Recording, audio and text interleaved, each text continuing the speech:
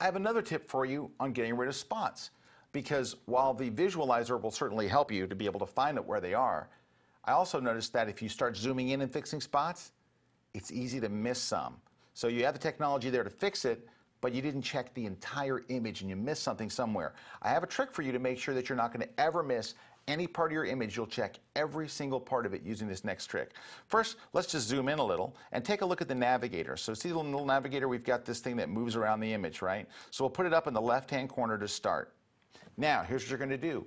You're going to use the page up and page down keys on your keyboard to be able to move through the entire image. And but what's cool about this is the way Lightroom makes sure that you don't miss any part of it. Now, I'm on a laptop, I'm on a Mac laptop. For me to make this work, I actually have to hold the FN key or the function key and then hit the down arrow. So on mine it's function down arrow. On your keyboard, depending on which one you have, chances are you have a page up and a page down. So we're going to start with page down.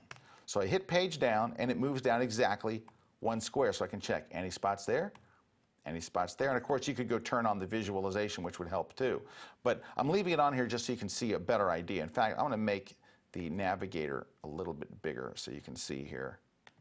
All right, so here it is. Watch as I, I wonder if I can zoom in. Let's see. Oh, yeah. This will probably illustrate it even better.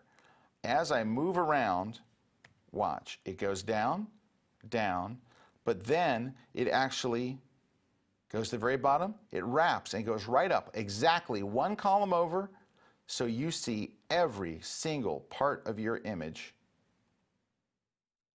so you don't miss a single area in spotting your image to make sure you've got everything. When you get to the end, you can go back the other way.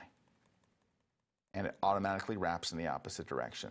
So that way you saw every single pixel in your image and you were able to make sure you didn't miss anything. All right, I got one more trick for you next on spots.